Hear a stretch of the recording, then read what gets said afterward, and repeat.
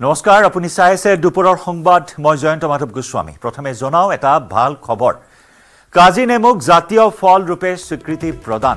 বিধানসভাৰ বাজেট অধিৱেশনত এই কথা ঘোষণা কৃষিমন্ত্ৰী অতুল বৰাৰ। বিগত বৰ্ষত বিদেশলৈ ৰপ্তানি হৈছে সত্তৰ হাজাৰ কাজি নেমু। ডুবাই লণ্ডন আবুধাবি কাটাৰলৈ ৰপ্তানি হৈছে কাজি নেমু। নেমু উৎপাদনত জড়িত হৈ আছে প্ৰায় সাতাইছ লাখ কৃষক। ৰাজ্যত এবছৰত উৎপাদন হয় এক দশমিক পাঁচ আঠ লাখ মেট্ৰিক টন নেমু। অসমৰ কাজি নেমু অসমৰ কাজি নেমুৱে ইতিমধ্যে জি আই টেগ লাভ কৰিছে। দুহেজাৰ ঊনৈছ বৰ্ষৰ পাঁচ ফেব্ৰুৱাৰীত জি আই টেগ লাভ কৰিছিল অসমৰ কাজি নেমুৱে আৰু সেই কাজি নেমুকে জাতীয় ফলৰূপে ৰাজ্যিক ফলৰূপে স্বীকৃতি প্ৰদান কৰা হৈছে। বিধানসভাৰ বাজেট অধিৱেশনত এই কথা ঘোষণা কৰে কৃষিমন্ত্ৰী অতুল বৰাই। অতুল বৰাই কয় যে অসমৰ কাজি নেমু অসমৰ ঐতিহ্য সংস্কৃতিৰ বাহক।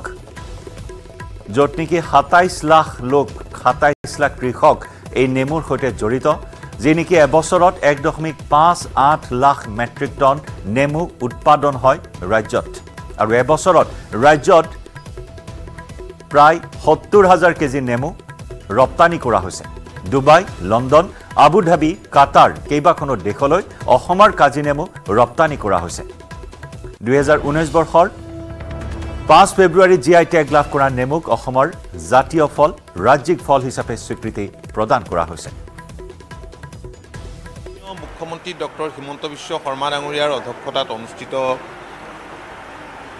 কেবিনেট বৈঠক বৈঠকে কাজি নেমুক যাক ইংৰাজীত আছাম লেমন বুলি কোৱা হয় আৰু বৈজ্ঞানিক ভাষাত চাইট্ৰাছ লিমন।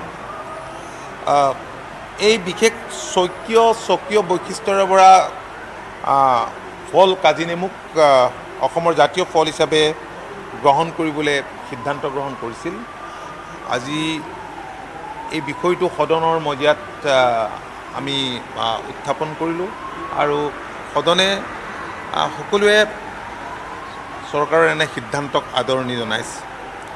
আমি অত্যন্ত আনন্দিত হৈছোঁ আৰু মই ভাবোঁ যে এই সিদ্ধান্তটোক নিশ্চয় অসমৰ ৰাইজেও আদৰণি জনাব।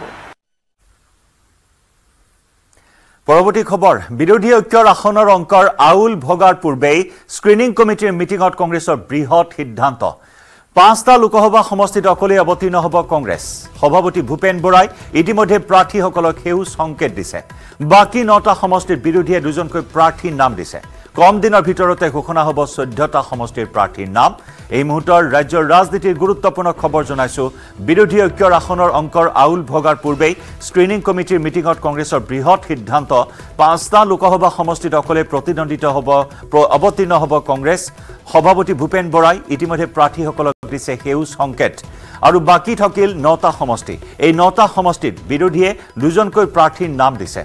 আৰু কম দিনৰ ভিতৰতে ঘোষণা হ'ব বাকী নটা সমষ্টি অৰ্থাৎ আটাইকেইটা চৈধ্যটা সমষ্টিৰে প্ৰাৰ্থীৰ নাম।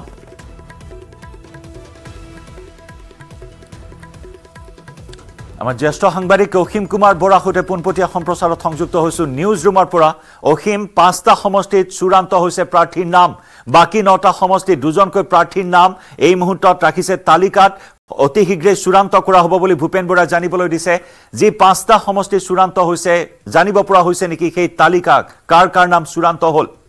হয় জয়ন্ত এই মুহূৰ্তলৈকে প্ৰদেশ কংগ্ৰেছ বা এ আই চি চিয়ে এই পাঁচজনীয়া যিখন তালিকা বা যিকেইটা পাঁচটা সমষ্টিত তেওঁলোকে নিজাববীয়াকৈ প্ৰাৰ্থিত্ব প্ৰদান কৰাৰ কথা চৰ্চা চলিছে সেই ধৰণৰ আনুষ্ঠানিক ঘোষণা কৰা নাই। কাৰণ যিহেতু চৈধ্যটা লোকসভা সমষ্টিৰ প্ৰাৰ্থীৰ তালিকা একে সময়তে ঘোষণা কৰা হ'ব গতিকে এই মুহূৰ্তত সেই ধৰণৰ কোনো ধৰণৰ আনুষ্ঠানিক ঘোষণা কৰা হোৱা নাই। কিন্তু এটা কথা ঠিক যে ইয়াত আচৰিত হ'ব লগা একো নাই কাৰণ পাঁচটা লোকসভা সমষ্টিত কংগ্ৰেছে নিজৰ প্ৰাৰ্থী দিয়াটোৱে স্বাভাৱিক। কাৰণ সেই সমষ্টিসমূহত জাতীয় দল অসম জাতীয় পৰিষদ বা ৰাইজৰ দলেই হওক বা তৃণমূল কংগ্ৰেছেই হওক বা আপৰে হওক কোনো ধৰণৰ তেনেকুৱা ভিত্তি নাই। গতিকে যিহেতু অধিকাংশ সমষ্টিতেই কংগ্ৰেছৰ ষ্ট্ৰং হ'ল বা কংগ্ৰেছৰ ভিত্তি শক্তিশালী বা সেই সমষ্টিসমূহত পূৰ্বেও কংগ্ৰেছৰ প্ৰাৰ্থী জয়ী হৈ সাংসদ হৈছে। গতিকে পাঁচটা লোকসভা সমষ্টিত হয়তো কংগ্ৰেছে নিজাববীয়া প্ৰাৰ্থী দিয়াটোৱে স্বাভাৱিক আৰু আনকেইটা সমষ্টিত দুজনীয়া প্ৰাৰ্থী তালিকা দিছে যদিও তাৰে কিন্তু প্ৰায় আৰু পাঁচটা সমষ্টিতেই কংগ্ৰেছৰে প্ৰাৰ্থিত্ব প্ৰাৰ্থিত্ব পাব। কাৰণ ইতিমধ্যে আমি কৈছোঁ যে আগতে চৰ্চা হৈছে যে মাত্ৰ দুটা সমষ্টিৰ বাদে বাৰটা সমষ্টিতেই কংগ্ৰেছে নিজৰ প্ৰাৰ্থিত্ব প্ৰদান কৰিব। গতিকে তাৰ ভিতৰত আজি পাঁচটা সমষ্টিত চৰ্চা চলিছে বা ভূপেন বৰাই সংশ্লিষ্ট প্ৰাৰ্থীসকলক চাগৈ অৱগত কৰিছে। কিন্তু আৰু পাঁচটা সমষ্টিত কংগ্ৰেছে নিজেই প্ৰাৰ্থিত্ব দিব কাৰণ সেই সমষ্টিসমূহত সহযোগী দলসমূহৰ কোনো শক্তিশালী প্ৰাৰ্থী নাই বা সেই সেই সমষ্টিসমূহত সহযোগী দলসমূহ যিবিলাক মিত্ৰ দল সেই দলসমূহৰ কোনো সাংগঠনিক ভিত্তি নাই। গতিকে সেইফালৰ পৰা নগাঁও যোৰহাটেই হওক বা কাজিৰঙাই হওক বা বৰপেটা ধুবুৰী এই সমষ্টিসমূহত কংগ্ৰেছৰে নিজৰ প্ৰাৰ্থী থাকিব। কিন্তু পৰৱৰ্তী পৰ্যায়ত হয়তো ডিব্ৰুগড় সমষ্টিটোক লৈ চৰ্চা চলিছে বা বৰপেটা সমষ্টিটো মিত্ৰ দলক এৰি দিব ওলাইছে। গতিকে এই দুটা সমষ্টিৰ বাদে এই মুহূৰ্তলৈকে আমাৰ হাতত যি তথ্য আছে যে বাৰটা সমষ্টিতেই অসীম ইতিমধ্যে। তিনিটা সমষ্টিৰ বাবে প্ৰাৰ্থী চূড়ান্ত কৰিছে। তেনেকুৱা এটা আউল লাগিয়ে আছে আৰু সেই আউল ভঙাৰ পূৰ্বেই এনেকুৱা এটা সিদ্ধান্ত গতিকে কি তাৎপৰ্য বহন কৰিব আপুনি ডিব্ৰুগড় সমষ্টিৰ কথা কৈছে। ইতিমধ্যে মনোজ ধানোৱাৰ নাচুৰ বান্দা হৈ আছে তেওঁ। আনফালে লুৰিণজ্যোতি গগৈৰ কথাও চৰ্চালৈ আহিছিল। আনকি লুৰিণক কংগ্ৰেছ নেতৃত্বত দিল্লীলৈ মাতি পঠিয়াই হাতৰ ছবিত প্ৰতিদ্বন্দ্বিতা কৰাৰ বাবেও অফাৰ আগবঢ়াইছে। হয় জয়ন্ত ইতিমধ্যে আপে তিনিটা সমষ্টিত প্ৰাৰ্থিত্ব ঘোষণা কৰিছে আৰু সেই প্ৰাৰ্থিত্বৰ পিছত ভূপেন বৰাই প্ৰতিক্ৰিয়া প্ৰকাশ কৰি কৈছিল যে আমি শেষ মুহূৰ্তলৈকে অপেক্ষা কৰিম যাতে তেওঁলোকে মিত্ৰজোঁট জোঁটৰ মাজত থাকে। মনোনয়ন প্ৰত্যাহাৰ কৰা দিনটোলৈকে কংগ্ৰেছ আশাবাদী যে তেওঁলোকে প্ৰত্যাহাৰ কৰিব আৰু মিত্ৰজোঁটৰ মাজত বুজাবুজিৰে আসন ভাগ বিতৰা হ'ব। কিন্তু এই মুহূৰ্তলৈকে কিন্তু আপে তেনেকুৱা ধৰণৰ কোনো ইংগিত দিয়া নাই যে তেওঁলোকে প্ৰাৰ্থিত্ব প্ৰত্যাহাৰ কৰিব বা কংগ্ৰেছৰ লগত আকৌ বুজাবুজি কৰি প্ৰাৰ্থিত্ব দিব কাৰণ তেওঁলোকে ইতিমধ্যে ডিব্ৰুগড় তেজপুৰ আৰু আমাৰ গুৱাহাটী সমষ্টিত প্ৰাৰ্থিত্ব ঘোষণা কৰিছে। গতিকে হয়তো কংগ্ৰেছে আপৰ এই প্ৰাৰ্থীসকল থাকক তাৰ উপৰি হয়তো কংগ্ৰেছে নিজৰ প্ৰাৰ্থিত্ব দিব। গতিকে আপ হয়তো মিত্ৰৰ লগত মিত্ৰতাত নাথাকিব আপেও নিজাববীয়াকৈ নিৰ্বাচনত অৱতীৰ্ণ হ'ব আৰু কংগ্ৰেছ বা আন মিত্ৰ দলসকলেও এটা নিজাববীয়াকৈ প্ৰাৰ্থিত্ব প্ৰদান কৰিব। হয়তো গুৱাহাটী সমষ্টিত যদি ভৱেন চৌধুৰী আপৰ প্ৰাৰ্থী হয় তেনেহ'লে ইয়াত মীৰা বৰঠাকুৰ বা আন কোনোবা কংগ্ৰেছৰ প্ৰাৰ্থী হ'ব পাৰে। গতিকে এনেকুৱা ধৰণৰ এটা সমীকৰণলৈ গৈছে যদি আপে বুজাবুজিলৈ নাহে। ধন্যবাদ অসীম ধন্যবাদ জনাইছোঁ আপোনাক। গতিকে কেনেদৰে বুজা বুজা বুজা পৰালৈ আহিব কেনেদৰে এই সমীকৰণ সমাধান সূত্ৰ ওলাব এই সমীকৰণৰ সেয়া পৰৱৰ্তী সময়ত লক্ষণীয় হ'ব। পাঁচটা সমষ্টিত কংগ্ৰেছে চূড়ান্ত কৰিছে প্ৰাৰ্থীৰ নাম আৰু বাকী নটা সমষ্টিতো ইতিমধ্যে দুজনীয়া তালিকা প্ৰস্তুত কৰিছে। অতি শীঘ্ৰে চৈধ্যটা সমষ্টিৰে প্ৰাৰ্থী চূড়ান্ত কৰিব কংগ্ৰেছে।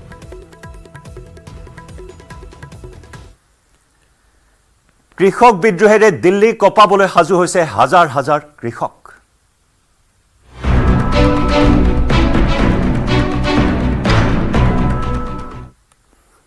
হয়। ক্ৰমাৎ উত্তাপ উত্তপ্ত হৈ উঠিছে দিল্লী সীমান্ত।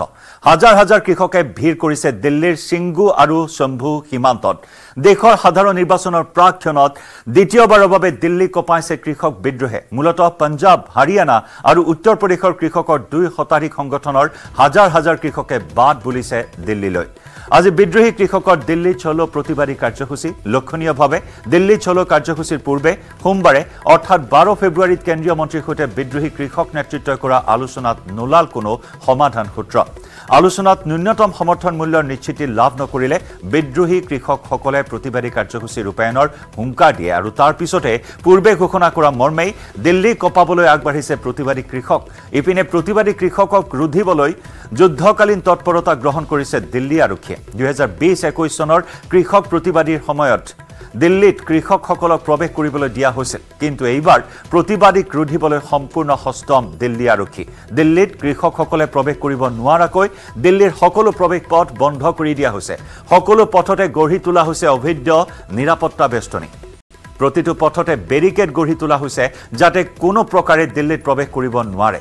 সমগ্ৰ দিল্লীত নিৰাপত্তা বেষ্টনী গঢ়ি তুলি হাই এলাৰ্ট জাৰি কৰা হৈছে। প্ৰতিবাদী কৃষকে দিল্লীত প্ৰৱেশ কৰিব নোৱাৰাকৈ দিল্লী সংযোগী বহুকেইটা পথত গজাল পুতি পথ বন্ধ কৰা হৈছে। সেয়ে পূৰ্বেই পঞ্জাৱ হাৰিয়ানাৰ ভিন্ন প্ৰান্তত সান্ধ্য আইন জাৰি কৰি কৃষকসকলক দিল্লী অভিমুখী যাত্ৰাত বাধা দিয়া হৈছে। কিন্তু সকলো প্ৰত্যাহ্বান নেওচি দিল্লী অভিমুখে আগবাঢ়িছে হাজাৰ হাজাৰ বিদ্ৰোহী কৃষক। বিদ্ৰোহী কৃষকে তেৰ ফেব্ৰুৱাৰীত দিল্লীত চলো প্ৰতিবাদী কাৰ্যসূচী গ্ৰহণ কৰাৰ লগতে ষোল্ল ফেব্ৰুৱাৰীত প্ৰতিবাদী কৃষকে ভাৰত বন্ধৰ আহ্বান জনাইছে। सभी लोग एकदम रेडी हैं। मीटिंगें चल रही हैं। जो रात को अपना मीटिंग करके हमारे आगू साहबान आए ने, वो अपनी अपनी पार्टी को सभी मीटिंगें लगा रहे हैं। फिर डिस्ट्रिक्ट वाइज सारा कुछ तैयारी के लिए जड़ा हो, पूरा प्रबंध जो कर रहे हैं। जल पानी सभी लोगों ने छक लिया है, प्रसादे छक लिए हैं। शाम तक के लिए रहते हैं। तो उनको रोकने के लिए जो हमारे पास रिसोर्सेज हैं, हमारे पास जर्सी बैरियर्स हैं, बड़े, छोटे और उसके अलावा अदर रिसोर्सेज जो कि लेजिटिमेट हैं उनको सभी को यूज़ कर रहे हैं। जी सर हमने देखा कि ड्रोन का भी यूज़ हो रहा है तो ड्रोन का बेसिकली दूर से देखने के लिए कि कोई इस तरह बढ़ ना रहा हो इसलिए रिकॉर्डिंग के पर्पज से है आज की डेट में ड्रोन बहुत ही इफ़ेक्टिव टूल है। किसी भी व्यक्ति की मॉनिटरिंग करने का कोई भी कोई प्रोग्राम है उसकी मॉनिटरिंग करने का एक अच्छा ओवरव्यू देता है। कि ना केवल फ्रंट रो बल्कि उसके आगे के लोग भी किस तरीके से उसमें क्या तैयारी कर रहे हैं या कोई वहाँ से कोई हथियार का इस्तेमाल कर रहा है या कुछ भी अगर न्यूसेंस क्रिएट कर रहा है तो वो हम आइडेंटिफाई कर सकते हैं ड्रोन के माध्यम से। तो हम इसका सफिशेंट यूज़ करेंगे ड्रोन का। थैंक यू কৃষক বিদ্ৰোহ টু পইণ্ট অ' কেন্দ্ৰ কৰি এতিয়া এনেদৰে নিৰাপত্তাৰ অভেদ্য দুৰ্গত পৰিণত হৈছে দিল্লী। আমি সেই পৰিৱেশ দেখুৱাইছোঁ দিল্লীত কেনেকুৱা এটা পৰিস্থিতিয়ে বৰ্তমান বিৰাজ কৰিছে যাতে কোনো এগৰাকী কৃষকে প্ৰৱেশ কৰিব নোৱাৰে ৰাজধানী দিল্লীত। এনেদৰে দিল্লী কঁপাবলৈ সাজু হৈছে পঞ্জাৱ হাৰিয়ানাৰ কৃষক। হাজাৰ হাজাৰ কৃষকে ট্ৰেক্টৰ লৈ পদব্ৰজে বাহন চলাই বাইক চলাই হাজাৰ হাজাৰ কৃষক ইতিমধ্যে দিল্লী অভিমুখে ৰাওনা হৈছে সুশীল পাণ্ডে আছে দিল্লীৰ পৰা পোনপটীয়া সম্প্ৰচাৰত যি সুশীল পুলিচ প্ৰশাসন কা जो तैयारियां ये विद्रोह रुकने के लिए कैसी तैयारियां कैसी बंदोबस्त किया गया है अब थोड़ा बताइए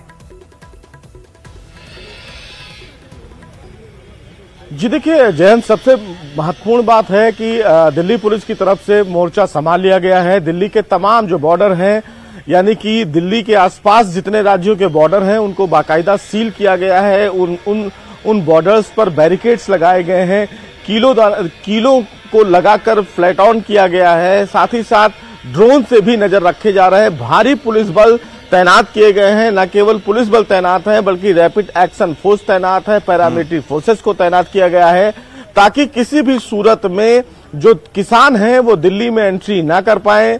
कल रात में जो बैठक हुई सरकार के साथ, वो बैठक बेनतीजा निकली, जिसके बाद किसान संगठनों ने ये ऐलान किया कि वो दिल्ली की तरफ़ जाकर अपनी बात रखेंगे, वहाँ पर प्रदर्शन करेंगे। इस बीच तीन डेवलपमेंट आज सुबह देखने को मिला। पहला, कि सुप्रीम कोर्ट बार एसोसिएशन के कुछ वकीलों ने चीफ जस्टिस को पत्र लिखा और ये कहा कि चूँकि जिस तरह दिल्ली में इस समय ट्रैफ़िक डाइवर्जन है बहुत ज़्यादा ट्रैफ़िक जाम है ऐसे में जो वकील हैं वो समय से अदालत नहीं पहुँच पाएँगे और अगर अदालत समय से वकील नहीं पहुँच पाएँगे तो उनको गैर हाजिर ना किया जाए या उनके खिलाफ कोई ऑर्डर अदालत पास ना करे। किस जो फ़िलहाल पत्र लिखा गया था एसोसिएशन के द्वारा उस पत्र पर चीफ जस्टिस ने संज्ञान लिया। चीफ जस्टिस ने वकीलों से कहा कि अगर वाकई उनको आने में दिक्कत है तो वो चीफ जस्टिस को अपनी समस्या बता सकते हैं। दूसरा जो डेवलपमेंट था वो डेवलपमेंट ये था कि केंद्रीय गृह मंत्रालय की तरफ़ से अरविंद केजरीवाल से ये मांग की गई थी कि जो बवाना दिल्ली में बवाना स्थित एक स्टेडियम है वहाँ पर अस्थायी जेल बनाया जाए। ये परमिशन फ़िलहाल अरविंद केजरीवाल से मांगी गई थी क्योंकि जो बवाना का इलाका है वो अरविंद केजरीवाल के जुरिडिक्शन में आता है। तो वहाँ पर फ़िलहाल अस्थायी जेल बनाने की जो इजाज़त थी वो दिल्ली के मुख्यमंत्री ने देने से मना कर दिया। उनकी तरफ़ से कहा गया कि अगर किसान दिल्ली आना चाहते हैं तो उनके आ, उनको आने दिया, दिया जाना चाहिए उनको प्रदर्शन किए करने देना चाहिए और ऐसे में अस्थायी जेल बनाने की कोई आवश्यकता नहीं है। वहीं आ, पंजाब में किसान एसोसिएशन की तरफ़ से एक बयान आया है जिसमें ये कहा गया है कि अगर जो पार्टियाँ हैं जो राजनीतिक पार्टियाँ हैं अगर वो उनके साथ नहीं खड़ी हैं यानी कि राजनीतिक पार्टियों में कांग्रेस का नाम लेकर ये कहा गया है कि अगर कांग्रेस पार्टी किसानों की इस मांग के साथ नहीं खड़ी है तो उस पार्टी का भी वो विरोध कर रहे हैं। तो ये तीन चीज़ें फ़िलहाल हुई हैं। अभी सूरत हाल आपको बताऊँ तो सबसे महत्वपूर्ण बात यह है कि दिल्ली में चारों तरफ़ ट्रैफ़िक अभी सुशील। बॉर्डर पहुँच रहा है बहुत भारी संख्यक भारी संख्यक अभी किसान बॉर्डर पहुँच रहा है तो वहाँ पे कैसे किया गया है सिक्योरिटी का इंतज़ाम? जी देखिए, दिल्ली के अगर सिंधु बॉर्डर की बात करें तो वहाँ पर भारी मात्रा में जो किसान हैं, वो पंजाब से दिल्ली की तरफ़ आ रहे हैं सिंधु बॉर्डर पे। कुछ किसान पहुँच चुके हैं लेकिन ये माना जा रहा है कि कुछ और किसान जब पहुँच जाएँगे तो एक साथ वो दिल्ली आने की कोशिश करेंगे। लेकिन इस बीच किसानों ने जो तैयारियाँ की हैं उनको रोकने के लिए दिल्ली पुलिस भी मुस्तैद है। दिल्ली पुलिस की तरफ़ से बैरिकेड्स लगा दिए गए हैं कीलों के तार लगा दिए गए हैं बुलडोजर कैनर वाटर कैनन और सुरक्षा बल के जवान तैनात किए गए हैं। ताकि किसी भी सूरत में उनको दिल्ली नहीं आने देना है। ये फ़िलहाल इस बार की रणनीति है। हालाँकि किसान अपनी जिद पर अड़े हैं। उनका कहना है कि वो प्रदर्शन करेंगे और दिल्ली आने से उन्हें कोई नहीं रोक सकता है। इसलिए तमाम जो किसान संगठन हैं देश में वो दिल्ली की तरफ़ बढ़ने की पूरी कोशिश कर रहे हैं। लेकिन अब इस प्रदर्शन से दिल्ली पुलिस या यूपी पुलिस या हरियाणा पुलिस उनको कैसे रोकती है ये आने वाला समय बताएगा। लेकिन अभी जो जद्दोजहद है वो जारी है सरकार की तरफ से आपने भी उनसे अस्थाई बात करने की जेल पूरी निर्माण कोशिश की का निर- निर्माण का खबर खबर बताया आपने আহ, থোড়া থোড়া জোৰে ৰাহে আমাৰ সাথ আপ সুশীল আমি কিছু দৃশ্য দেখুৱাইছো এইখিনি মুহূৰ্তত এনেদৰে কন্দুৱা গেছ নিক্ষেপ কৰোৱা হৈছে শূন্যলৈ গুলী ফুটোৱা হৈছে আমি দেখুৱাইছো কিছু দৃশ্য কিছু উত্তেজনাপূৰ্ণ দৃশ্য। এয়া কৃষক বিদ্ৰোহক কেন্দ্ৰ কৰি সীমান্ত অঞ্চলত দিল্লীৰ সীমান্ত অঞ্চলত প্ৰৱেশ পথত এনেকুৱা এক হাহাকাৰ পৰিস্থিতি এই মুহূৰ্তত বিৰাজ কৰা পৰিলক্ষিত হৈছে। আমি নিউজ এইটিনত আপোনাক দেখুৱাইছো এক্সক্লুচিভ ভিজুৱেল প্ৰচণ্ড শীতক নেওচি হাজাৰ হাজাৰ কৃষক প্ৰতিবাদী কৃষক ৰাওনা হৈছে।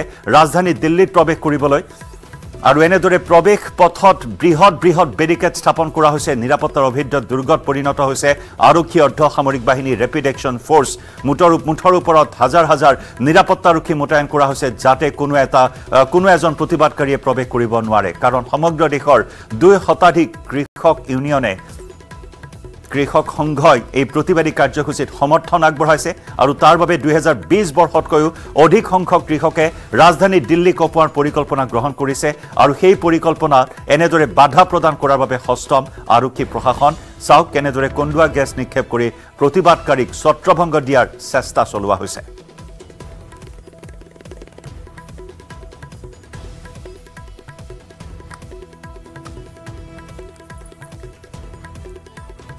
जी सुशील अपने आपने अस्थाई जेल के बारे में बताया क्या बॉर्डर इलाकों में भी अस्थाई जेल निर्माण किया गया है? क्योंकि अब तक बहुत सारे बहुत सारे किसानों को अरेस्ट डिटेन भी किया गया है। सेंट्रल गवर्नमेंट की तरफ़ से जी। जी देखिए, बहुत सारे इलाकों में अस्थायी जेल बनाने की पूरी कोशिश की गई है, जो केंद्रीय गृह मंत्रालय के जुरिडिक्शन में है, लेकिन चूँकि ऑन रिकॉर्ड जो मांग की गई थी गृह मंत्रालय से, वो बवाना, चूँकि वो सिंधु बॉर्डर के बहुत करीब है, लिहाजा बवाना में जो एक बड़ा सा स्टेडियम है, वहाँ पर अस्थायी जेल बनाने की मांग की गई थी, लेकिन अरविंद केजरीवाल ने फ़िलहाल केंद्र सरकार की इस बात को नहीं माना तो अब इस मामले में देखिए, राजनीतिकरण भी हो रहा है, तमाम राजनीतिक पार्टियाँ चूँकि आने वाला समय लोकसभा चुनाव का है तो तमाम राजनीतिक पार्टियाँ इसका कहीं ना कहीं क्रेडिट लेना चाहती हैं ताकि वो किसानों के साथ रहें, उनकी मांग रहे। लेकिन चूँकि सबसे बड़ी बात इस मामले में ये भी देखने वाली है कि प्रदर्शन किसी भी समस्या का हल नहीं होता है। अगर इस पूरे मामले में किसानों की मांग है तो वो सरकार के साथ बैठकर बातचीत करें। प्रदर्शन करना किसी भी समस्या का हल नहीं है और यही बार बार सरकार की तरफ़ से भी आह्वान किया जा रहा है कि वो बैठकर बातचीत करें और इस समस्या का समाधान निकालने की कोशिश करें। अगर प्रदर्शन उग्र होता है तो निश्चित रूप से कहीं ना कहीं लोगों को दिक्कतें होंगी जो किसान हैं उनको दिक्कतों का सामना करना पड़ेगा पैरामिलिट्री फोर्सेज को दिक्कतों का सामना करना पड़ेगा। लिहाजा सरकार ये नहीं चाहती है कि किसान उग्र हो क्योंकि साफ़ तौर से भी हाल ही में देखिए बीजेपी की सरकार की तरफ़ से चौधरी चरण सिंह को फ़िलहाल भारत रत्न दिया गया। एक मैसेज देने की कोशिश फ़िलहाल सरकार की तरफ़ से है कि वो किसानों के साथ हैं। चूँकि किसानों की जो मांग है उन मांगों को सरकार भी अपने तरीके से देखने की कोशिश कर रही है कि जो मांग है उसको किस तरह पूरा किया जाए ताकि जो। आर्थिक ढांचा है उस पर कोई असर ना हो इन्फ्लेशन की स्थिति ना बन पाए। तो इन तमाम पहलुओं को फिलहाल देखने के लिए भी एक समय चाहिए लेकिन जिस तरह तमाम जो किसानों का आह्वान है जी, और जिस बाद तरह में ट्रैक्टरों क्या का एक समाधान बड़ा, निकलेगा? अ, जो अ, एक एक इस बड़ी मामले कतार का इस मामले का बाद में क्या समाधान निकलेगा ये बहुत ही महत्वपूर्ण होगा बहुत बहुत शुक्रिया सुशील पांडे इस जानकारी हमें देने के लिए इस वक्त बहुत बहुत शुक्रिया बाद में हम फिर से जुड़ेंगे आपके साथ আমি দেখুৱাই আছো এইখিনি মুহূৰ্তত দিল্লীৰ ৰাজপথৰ দৃশ্য সীমান্তৰ দৃশ্য কেনেদৰে সষ্টম হৈ আছে আৰক্ষী প্ৰশাসন আৰু তাৰ মাজত ইতিমধ্যে হাজাৰ হাজাৰ প্ৰতিবাদকাৰী দিল্লীৰ প্ৰৱেশৰ চেষ্টা চলোৱাত এয়া ৰাজপথ দেখুৱাইছো আমি। বৃহৎ বৃহৎ গজাল সদৃশ ব্যৱস্থা কৰা হৈছে। গজাল পুতি থোৱা হৈছে ৰাজপথত যাতে ট্ৰেক্টৰ লৈ অহা কৃষকসকলে প্ৰৱেশ কৰিব নোৱাৰে এই পথেৰে। দিল্লী সংযোগী প্ৰতিটো পথতে এনেদৰে গজাল পুতি ৰাজপথত বেৰিকেড দিয়াৰ ব্যৱস্থা কৰা হৈছে। আৰু তাৰ বিপৰীত আমি দেখুৱাইছোঁ সোঁফালে আপোনালোকে প্ৰত্যক্ষ কৰিছে সেই দৃশ্য। এয়া চাওক কেনেদৰে কন্দুৱা গেছ নিক্ষেপ কৰা হৈছে প্ৰতিবাদকাৰীসকলক ছত্ৰভংগ দিয়াবলৈ। বৃহৎ বৃহৎ বেৰিকেড স্থাপন কৰা হৈছে। সম্পূৰ্ণ ধোঁৱাময় ধুঁৱলি কুলি পৰিৱেশে বিৰাজ কৰিছে যাতে প্ৰতিবাদকাৰীসকল আগবাঢ়িব নোৱাৰে। দিল্লী অভিমুখে তাৰ কঠোৰ ব্যৱস্থা দিল্লী প্ৰশাসন আৰক্ষী প্ৰশাসনে কৰা পৰিলক্ষিত হৈছে।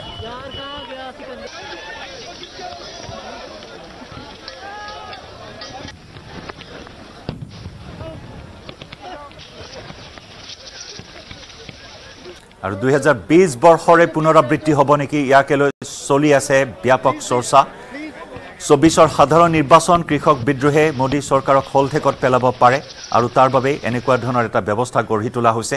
আনহাতে কালিৰ দিনটোতো এই সমস্যাৰ সমাধানৰ বাবে চৰকাৰৰ তৰফৰ পৰা তৎপৰতা গ্ৰহণ কৰা হৈছে কিন্তু কালি নোলাল কোনো সমাধান সূত্ৰ আৰু তাৰ বাবে ইয়াত দিল্লী অভিমুখে বাট বুলিছে পঞ্জাৱ হাৰিয়ানা উত্তৰ প্ৰদেশৰ কৃষকসকলে দেশৰ দুশৰো অধিক কৃষক সংঘই এই প্ৰতিবাদত সমৰ্থন আগবঢ়াইছে আৰু যাৰ বাবে হাজাৰ হাজাৰ প্ৰতিবাদকাৰী দিল্লী অভিমুখে ৰাওনা হৈছে যিসকলক ছত্ৰভংগ দিয়াবলৈ কন্দুৱা গেছ নিক্ষেপ কৰা হৈছে। এই কৃষক বিদ্ৰোহৰ নেতৃত্বত আছে আচলতে কোন? কৃষক বিদ্ৰোহৰ নেতৃত্বত আছে সন্মিলিত কিষাণ মৰ্চা। কিষাণ মজদুৰ মৰ্চায়ো এই কৃষক বিদ্ৰোহৰ নেতৃত্বত আছে। প্ৰতিবাদত দুই শতাধিক কৃষক সংঘৰ সমৰ্থন আৰু যাৰ বাবে দুহেজাৰ বিছ বৰ্ষতকৈও অধিক প্ৰতিবাদকাৰী সমবেত হোৱাৰ পৰিকল্পনা বা গোট খোৱাৰ সম্ভাৱনা আৰু যাৰ বাবে দিল্লীত প্ৰৱেশত বাধা প্ৰদান কৰা হৈছে কৃষকসকলক।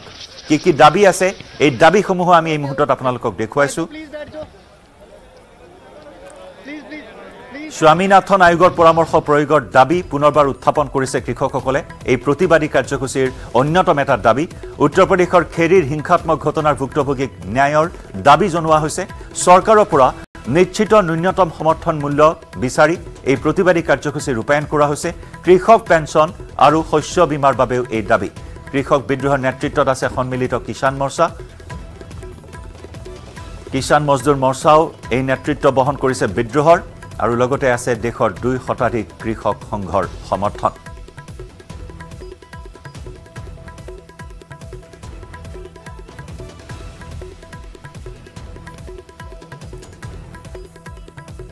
আৰু এই দাবীসমূহ কেনেদৰে পূৰণ হ'ব এই দাবীসমূহৰ ক্ষেত্ৰত চৰকাৰে কি সিদ্ধান্ত দিব কোনো সমাধান সূত্ৰ ওলাবনে নাই তাকে লৈ এই মুহূৰ্তত দেশৰ কৃষকসকলে যথেষ্ট উৎকণ্ঠিত হৈ আছে।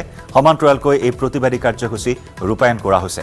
ষোল্ল ফেব্ৰুৱাৰীত ভাৰত বন্ধৰ ইতিমধ্যে ঘোষণা কৰিছে কৃষক সংগঠনসমূহে কৃষক ইউনিয়নে।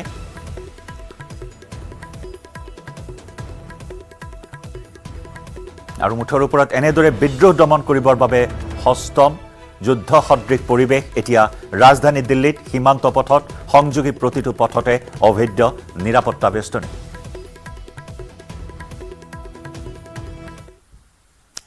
আমি খবৰৰ ধাৰা অব্যাহত ৰাখিম। সময় হৈছে এটা বাণিজ্যিক বিৰতি।